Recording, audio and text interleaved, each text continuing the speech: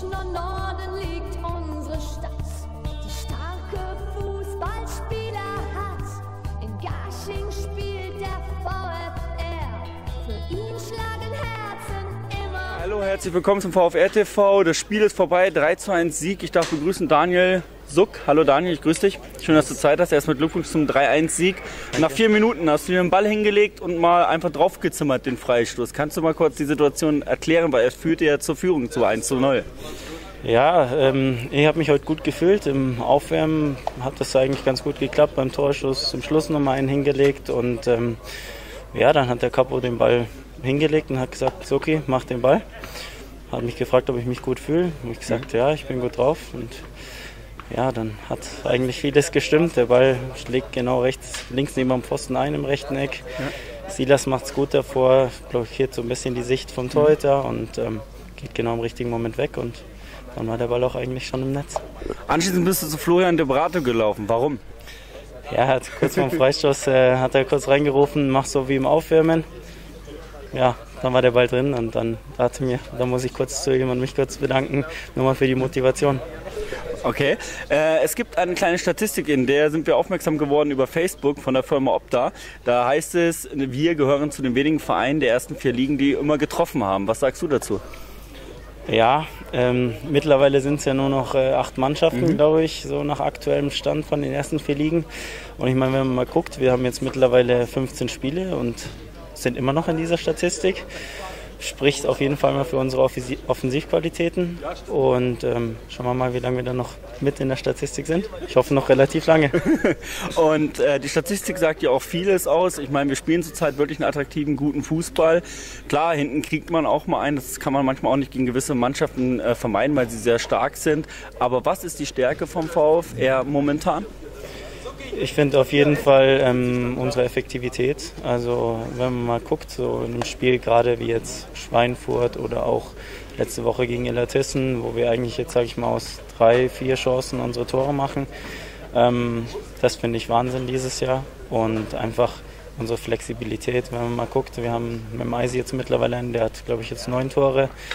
Stefan hat sechs Tore, der Capo schießt jedes Jahr seine Tore. Einfach mhm auf mehrere Schultern verteilt. Wir haben jetzt nicht nur einen, auf den sich dann auch die Gegner konzentrieren, sondern sind halt einfach dadurch flexibler und ähm, ja, ein bisschen unzurechnungsfähiger. Bevor ich dich entlasse, noch eine letzte Frage. Das Ziel vom VfR ist? Nur drin bleiben. Klassenhalt immer noch? Immer noch. Perfekt, ja. danke dir. Gerne. Ja, vom einen Daniel zum nächsten Daniel. Daniel, herzlichen Glückwunsch zum 3-1-Sieg. Daniel Suck hat nach vier Minuten ein gutes Gefühl und hat den einfach im Eiskalt reingehauen. Wie hast du es empfunden?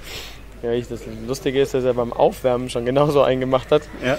Ähm, und dann haben sie von draußen schon gerufen, dass er schießen soll. Und dann habe ich gedacht, gut, so geht dann, dann mach. Und ähm, er hat einen un, unheimlich guten Schuss. Und wenn er dann wirklich mal genauso trifft, dann dürfen sich gerne mit dem Tor belohnen.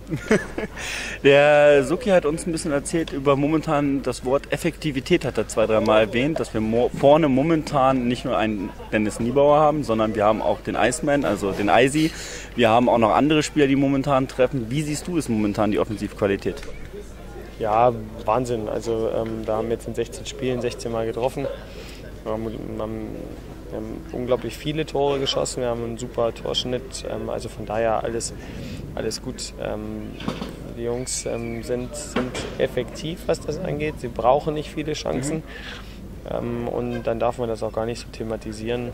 Nicht, dass sie meinen, sie müssen noch nicht mehr, sondern du musst es in der Liga musst es einfach sein, weil du bist nicht so spieldominant, du bist mhm. nicht, hast keine 70% Ballbesetzung, kannst dann ein Spiel daraus entwickeln und deine Gegner müde spielen und dann das, das funktioniert nicht, sondern du musst übers Tempo kommen, ums Umschaltspiel ähm, und, und, und dann musst du den Spielern auch die Möglichkeit geben, dass sie, dass sie halt dann keine schwierigen Torchancen haben, sondern dass sie dadurch halt schnell und gut freigespielt werden und das ähm, kriegen wir sehr, sehr gut hin.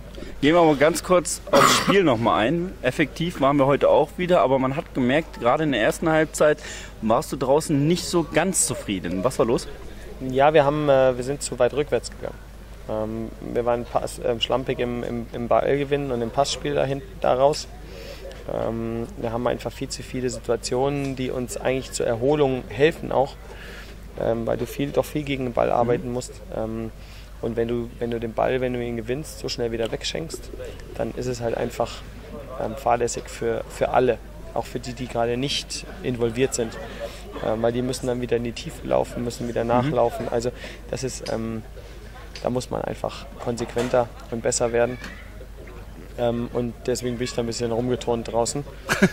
ähm, dann haben wir es nicht verstanden, was ich von draußen angesagt habe. Dafür braucht man dann die Halbzeit, dass ich es ihnen erklärt habe an der Tafel.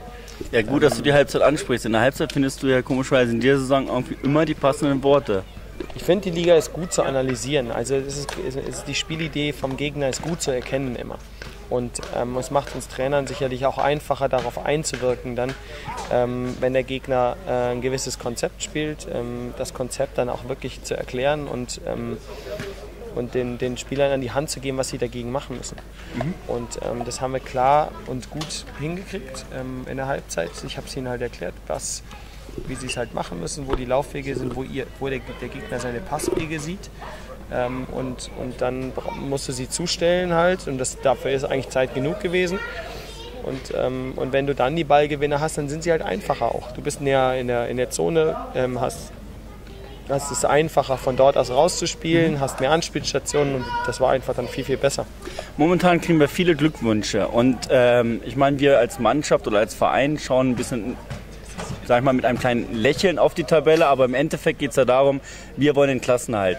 Und jedes Mal, wenn wir natürlich den Klassenerhalt erwähnen, ist auch auf Facebook zum Beispiel so, dass der ein oder andere Fan sich dann wundert, warum reden wir vom Klassenerhalt. Kannst du kurz darauf eingehen? Also ähm, für mich ist es, ähm, wenn du die Historie der letzten Jahre siehst, was die, Aufsteiger agiert haben, ähm, dann haben sie in der ersten, im ersten Saisondrittel ähm, viele sehr, sehr gut gespielt, ähm, bis sich die Amateurmannschaften vor allen Dingen ähm, ähm, an, an- den Herrenfußball gewöhnt haben, bis sie ihr Konzept gefunden haben, bis es alles eingestimmt ist. Und ab der Phase wird es dann irgendwann sehr, sehr schwierig, gegen diese Mannschaften ähm, zu punkten. Ähm, dazu kommen ähm, die Aufsteiger die, oder, oder die anderen Herr, richtigen Herrenmannschaften, so wie Seelingporten, wie, wie äh, Ackerburghausen oder, oder Haching, die, die einfach sich immer besser einspielen. Und ähm, für uns ist immer die Gefahr, dass ähm, man in dieser Euphorie am Anfang mitschwimmt und dann irgendwann zusammenbricht. Das haben wir im ersten Jahr erlebt, ähm, weil wir einfach über die Trainings ähm, über die Trainings dadurch, dass wir nur dreimal trainieren, unser Gegner trainiert fünf, sechs Mal, die können halt einfach, die können einfach mal ganzen, ein ganzes Training dafür verwenden, um Standards zu, zu trainieren. Also für sowas habe ich alles keine Zeit. Das heißt, ähm, für, für mich ist alle, steht über allem diese 38 bis 40 Punkte Marke. Da will ich drüber, dann habe ich Planungssicherheit für die neue Saison und dann habe ich auch die Möglichkeit, andere Dinge nochmal weiterzuentwickeln. Und umso früher das der Fall ist, umso besser. Deswegen interessiert mich der Tabellenstand immer recht wenig, sondern die Punktzahl.